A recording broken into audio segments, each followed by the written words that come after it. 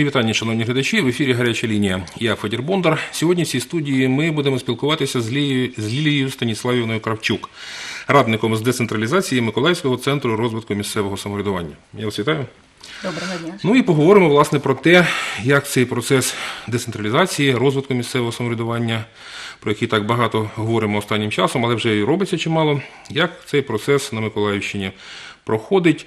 Ну, по-перше, може кілька слів про останню подію, буквально вчорашню, вибори в Новополтавській об'єднаній територіальній громаді.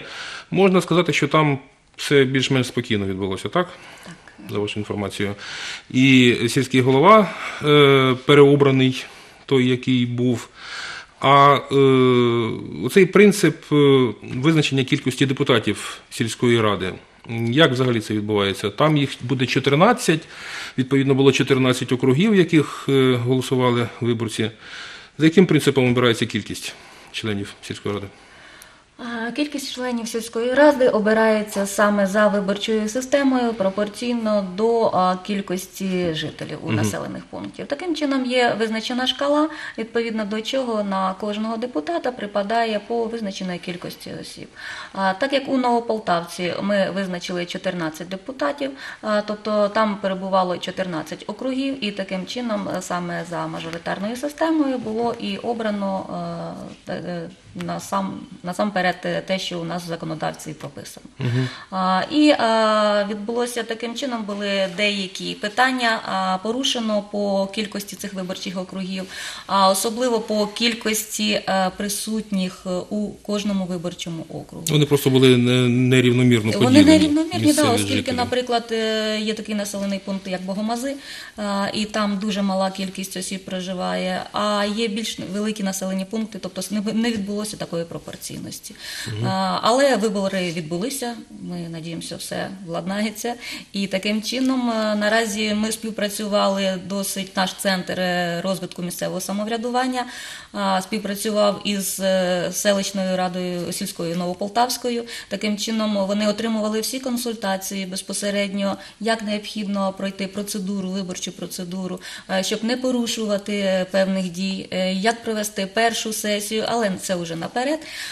І таким чином переміг дійсно сильніший е, та особа, тобто голова сільської ради, яка була колишня, це. Медведєв, да. і, але у них було сім претендентів. Сім претендентів, і е, було цікавим той факт, як же будуть продвигатися вибори. Чи можливо це буде ще й другий етап.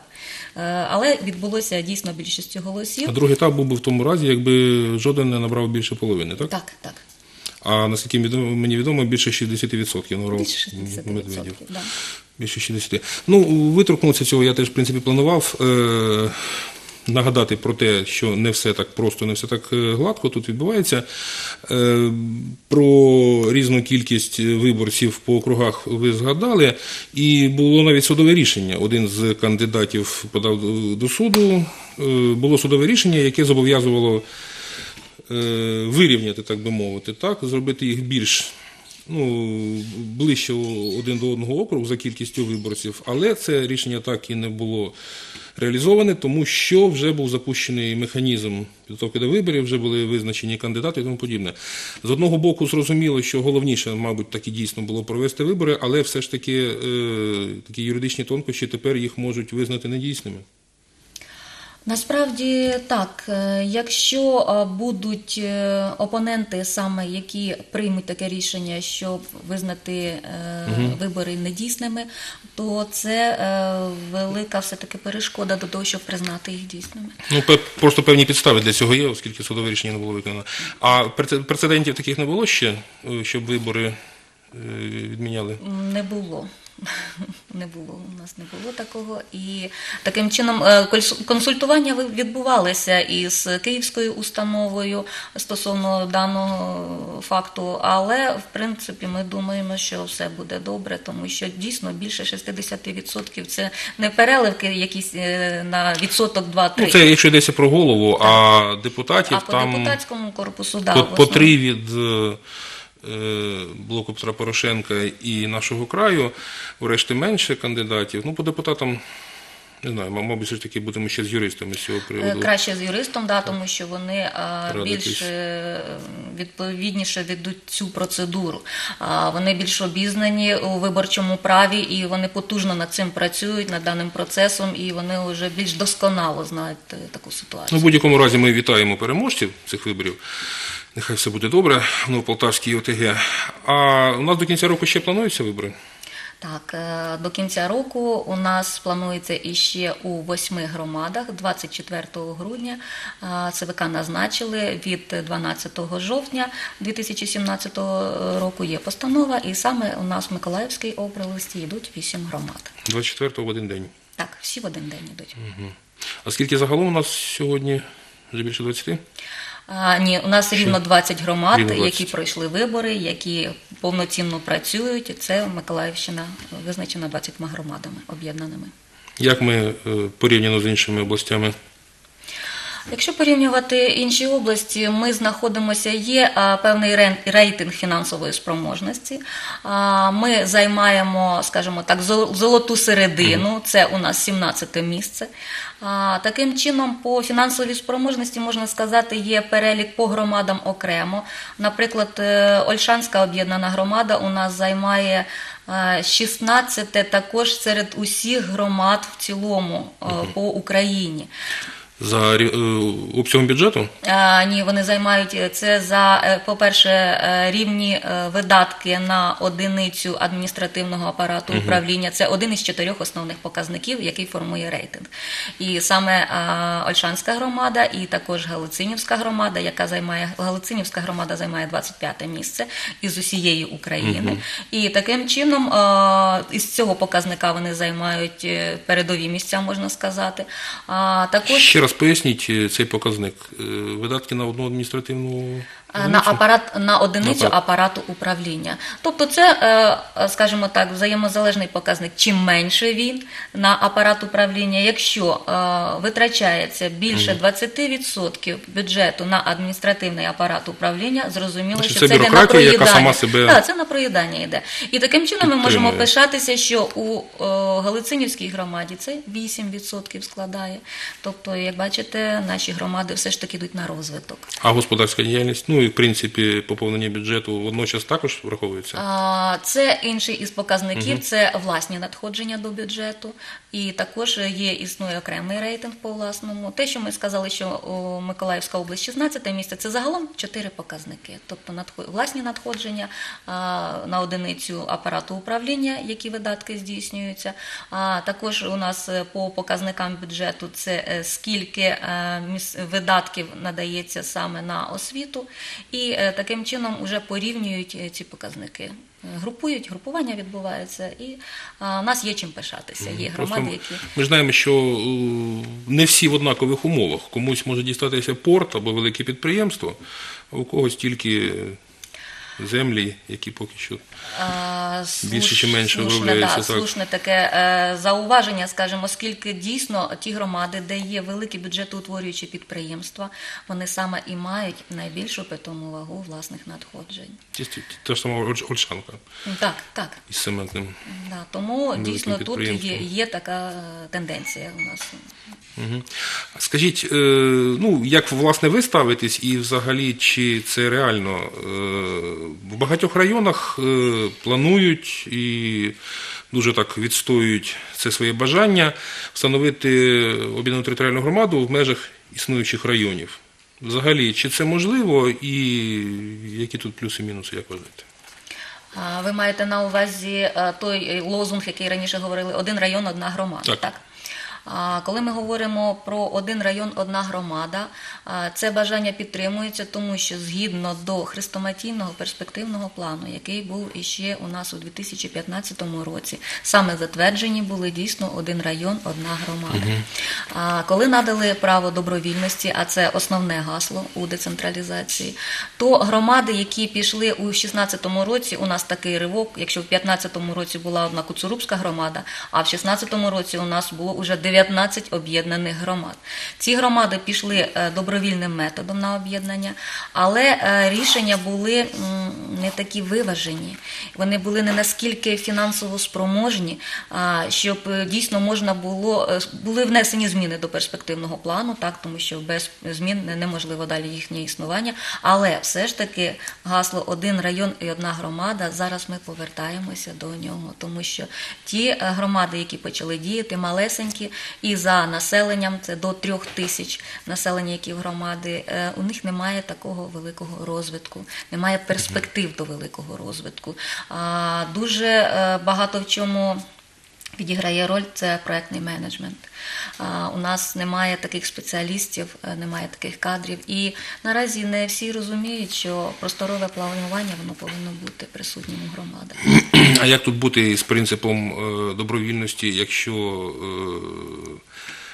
існуюча громада не захоче об'єднуватися з усім з рештою району? Цього не відбудеться? Якщо ми дивимося по заповнюваності об'єднаними громадами, у нас принцип добровільності, е, як всі знають, триває досі, і це основне. Якщо ми дійдемо десь до 50% е, покриттям ОТГ по населенню і по саме е, земельним угіддям площин, то вже уряд буде мати право на те, щоб включився системний підхід для того, щоб принцип добровільності можна було перейти до адміністративного порядку. Дуже багато зараз е, можна почути, що 20-й рік вважають, що він вже добровільність закінчиться у 20-му році. Е, Зрозуміло чому, тому що на це впливає, ми приймаємо адміністративно-територіальний устрій новий. І коли е, у восени 2020 року у нас будуть вибори уже чергові, то вибори будуть уже в нових адміністративно-територіальних одиницях, нових центрах. І тому до цього часу, звичайно ж, необхідно все ж таки, щоб з'ясувалися і з перспективним планом, визначилися громади із тим, що об'єднаються, не об'єднаються. Уряд не може зараз е, повністю своєю рукою, о, скажімо так, власноручно е, об'єднати всіх, тому що це суперечить основному законодавству. Було визнано добровільність. Але ті громади, які е, не захотять, от як ви говорите, приклад, да, об'єднуватися, то е, вони у них, скажімо так, не, не буде тієї системи, е, щоб вони вирішували самостійно. Люди все ж таки потягнуться до тих сильних громад. Люди побачать кращі практики. Наразі зараз ми е, їздимо по всім областям, по всій Україні, і не тільки, і е, не всі, навіть не всі обізнані в куточках. Люди просто не хочуть. Вони говорять, ми почекаємо, що далі буде. Не хочуть змін, люди побоюються. Ви Да. знаєте, що багато таких випадків, коли якраз і не хочуть більш багаті з біднішими об'єднуватися. Так, е, але якщо ми знаємо, що у законодавстві, якщо це буде, наприклад, е, далі будуть зміни в законодавстві стосовно міста обласного значення, а, і таким чином, якщо вже буде об'єднана громада і вона буде спроможною, і до неї буде намагатися хотіти більш, більш мілка громада об'єднатися, то спроможна громада велика не має права відмовити, тому що уряд е, саме включить свої інструменти, коли таким чином буде е, визнано цю велику громаду неспроможною. Таким чином, тут регулятори є все ж таки в законодавстві. Ті, хто не хотять, у нас називається є законодавство, законопроект стосовно олійних плям, як ми говоримо, білі плями. Тобто, якщо всередині виникли такі анклави, які не дають об'єднатися навколо, а закон ще не допускає переступити через них, але надалі законодавством буде врегульовано і це питання. А у варіанті один район, одна громада. Чи всі норми можна буде витримати транспортні? Е, Я не пам'ятаю точних цифр, але щодо, наприклад, доступності закладів медичних, е, освітніх, е, тих самих управлінських, щоб людина могла дістатися там за певний час. Є там такі вимоги, наскільки я пам'ятаю. Вимоги є.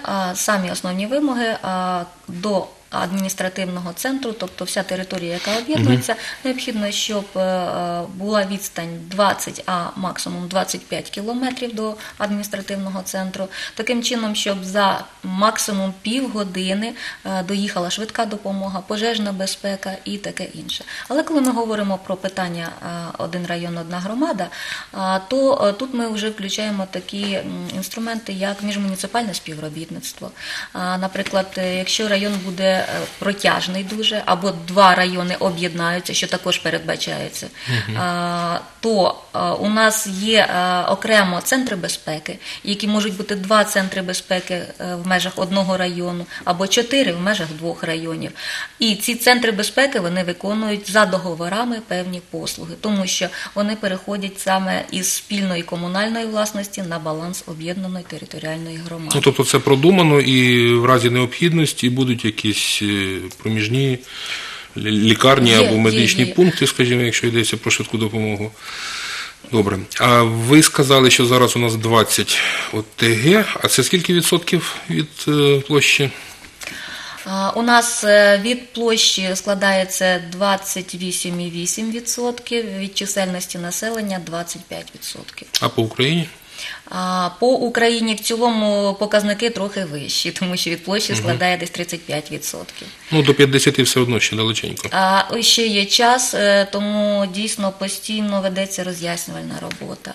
Роз'яснювальна робота не лише коли ми по популяризації ведеться реформа децентралізації, ми виїжджаємо на місця, виїжджаємо для, для того, щоб людям надати відповіді, не просто провести гарну презентацію або показати, де гарне життя відбувається, надати відповіді на гострі такі питання, а це досить часто виникає, тому що коли виїжджаємо і на громадські слухання, і коли говоримо про те ж саме міжмуніципальне співробітництво, люди вже налякані і говорять, якщо почнеться міжмуніципальне співробітництво, то ви нас насильно будете об'єднувати.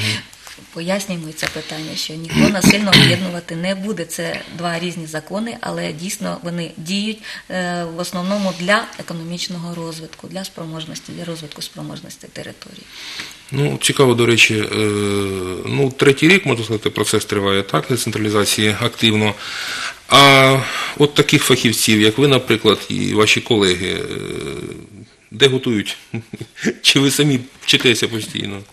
Е, Нас готує е, центральна установа, яка знаходиться в Києві.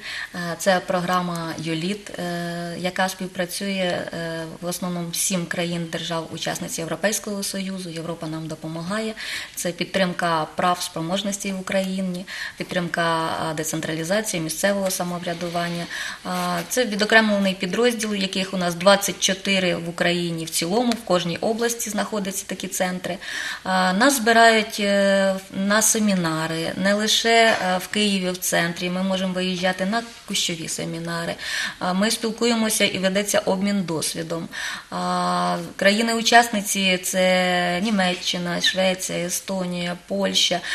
Вони дійсно приїздять з комісіями, щоб подивитися, як же впроваджується сам процес передачі таких повноважень, які надали на місця. І дійсно, ми, як провідники, нам необхідно, мабуть, знати все, знати не лише те, що відбувається, а і наперед, на перспективу, знати, що може відбутися, якими сценаріями це піде. Нам проводять різні тренінги. При Мінрегіоні також є певна організація, установа, і дійсно це фахівці високого рівня, які це юристи, це експерти, бухгалтери, е, які ведуть повністю секторально такі види діянь. І е, це інститут е, економічного розвитку, це всім відомі Анатолій Ганущак, е, Анатолій Ткачук, перепрошую, Ганущак. І таким чином е, ми з ними співпрацюємо, проводимо не лише лекція, це і різні формати, це різні формати розмови, бесіди. Тобто ми спілкуємося всі між собою, в Фейсбуці спілкуємося. Тобто тут немає, що ви знаходитесь з однієї сторони, це вищий апарат або нижчий апарат. Тобто цей рух, або як ми між- собою називаємо, що потяг децентралізація в Україні не зупинити вже, він іде повним ходом. І ті, хто опоненти говорять, що можливо реформа не піде, вона вже пішла. Вона вже йде повним ходом. І дійсно одна із небагатьох, яка в Україні все ж таки має е, ми вважаємо, але все ж таки успіх і е, саме рух такий потужний. Коли процес тільки починався, децентралізація, активна фаза, е, говорили, що ми практично повторюємо польську модель. Чи є так насправді, чи зберігається ця тенденція? І які особливості, можливо, наші? Так, дякую. Е, Насправді, саме перше, що необхідно сказати, у нас своя українська модель. Неможливо перекласти іншу. Одні говорили прибічники, що це французька модель, інші говорили, що це польська.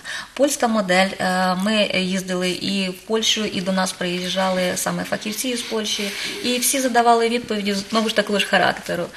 У Польщі не було добровільності. Це саме основне, що в Польщі не було саме такого гасла. Е, В Польщі відбулася спочатку так адміністративно-територіальна реформа, а потім уже е, децентралізація. Таким чином, зовсім по-іншому е, було сформовано всі передумови. Передумови, да, можливо, в виграші була Польща, тому що передумови були спочатку сформовані впродовж 30 років.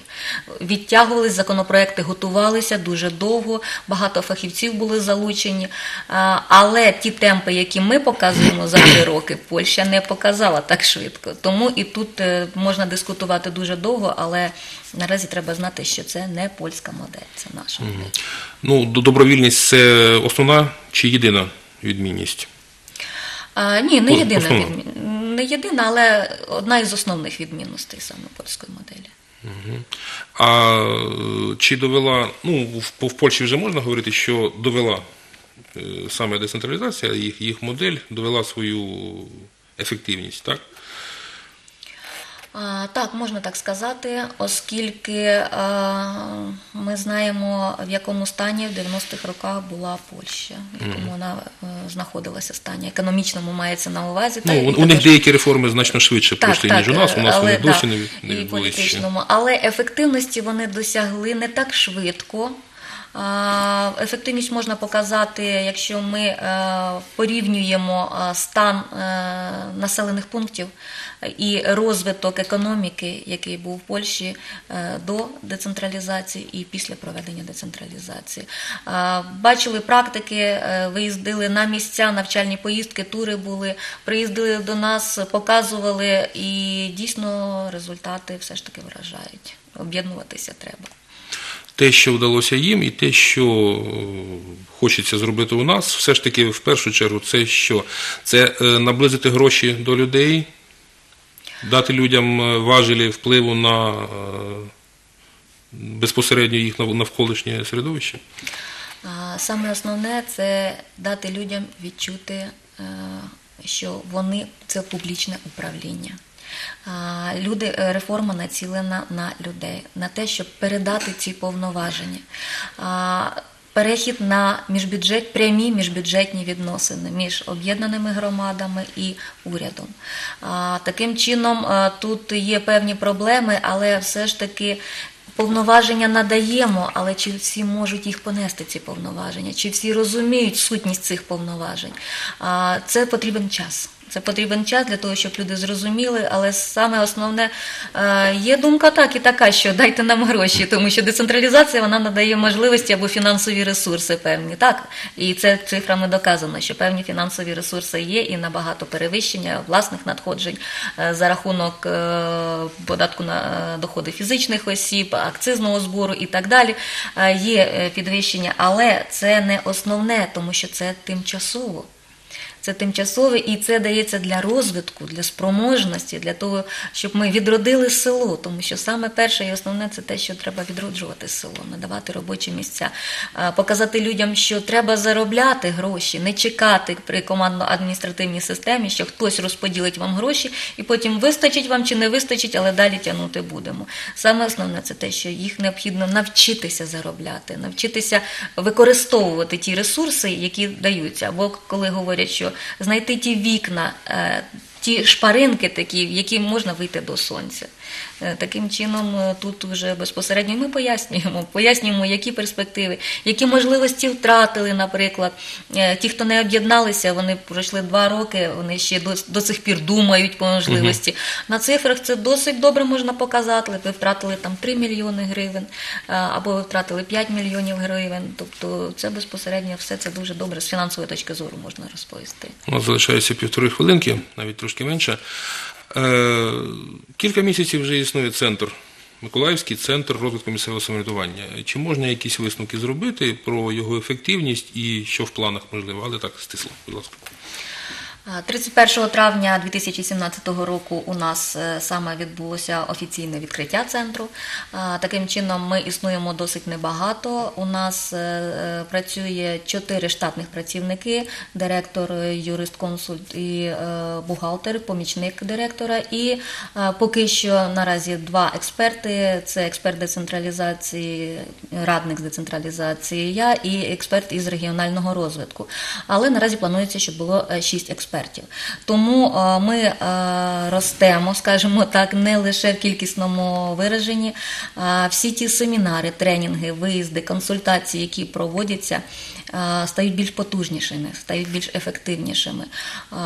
Рішення, які є виваженішими, громади. Ми для громад е, розумієте, можливо, це перевищення, але скажімо так, ми і психологи, ми і юристи, ми і партнери для них. Тобто, це та площадка, куди вони можуть звернутися, звернутися для того, щоб отримати консультацію, отримати методичне пояснення, законодавче пояснення. І таким чином ми е, є. Та лінія, то ті провідники, які з'єднуємо з обласною державною адміністрацією, з районними радами, з обласною радою, стейкхолдерами і так далі. Тому все стає е, потужнішим наша команда. Я вам дуже дякую за цю бесіду. Дякую всім, хто був з нами. Побачимось у ефірі.